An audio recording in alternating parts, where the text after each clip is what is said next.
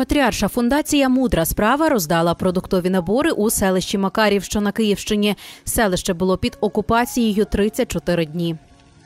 Сьогодні ми мали нагоду відвідати громаду в Макарові. Тут власне отець Тарас Сиділо, наш священник, опікується цією громадою.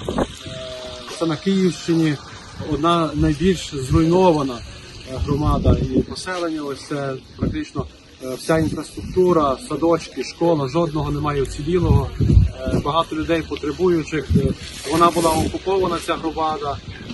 У громаді залишилося тільки 10% мешканців. Допомогли зібрати продуктові набори громада Української греко-католицької церкви у Флоренції і отець Володимир Волошин. Дякуючи допомозі е, такої фундації як мудра справа благодійному фонду Карітас. Ми охопили велику кількість людей, які отримують допомогу з продуктами харчування, гігієною, подальшому допомогу відбудові житла та інших об'єктів. І е, велика вдячність е, фундації фонду Карітас за ту швидкість і е, той об'єм, який взяли нам допомогли реалізувати. Тому що саме Карітас один із фондів, який працював надзвичайно швидко. Буквально за від першого візиту до встановлення вікон, заміни дверей і легкого ремонту дахів відбувалося там місяць-півтора. Це один із тих фондів, який працював найшвидше. І зараз продовжується надання гуманітарної допомоги продуктів харчування. Також у Макарові працює пункт незламності. Добрий самарянин. Тут можна почитати і обмінятись книгами, попити чаю і зарядити гаджет.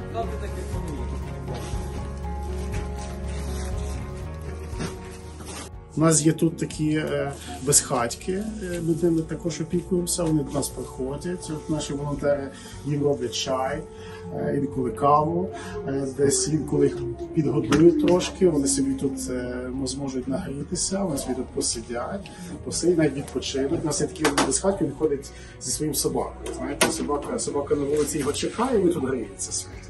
Вони собі чай попив, і собака з ним далі пішла. Тобто у нас є ось такі.